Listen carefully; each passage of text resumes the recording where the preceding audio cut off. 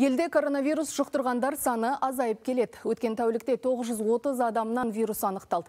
Індетке шалдығудың ең көп жағдайы Елордада, Қарағанды облысы мен Алматы қаласында тіркелген. Ал былтырдан бері COVID-19-ға қарсы екпенің бірінші компонентін 9 миллион 572 мың 423 адам, ал екінші компонентін 9 миллион 351 мың 506 адам салдырды. Сондай ақ 1 миллион 193 мың азамат Pfizer препаратының толық курсын алған.